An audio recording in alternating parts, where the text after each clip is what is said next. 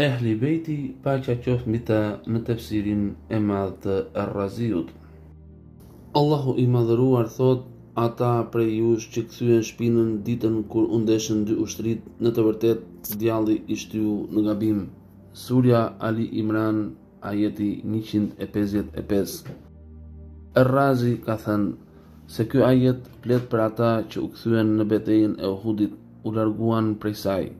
Muhamed ibn Ishaku ka përmendur se një e treta e pjesëmarrësve ishte prej atyre që humbën.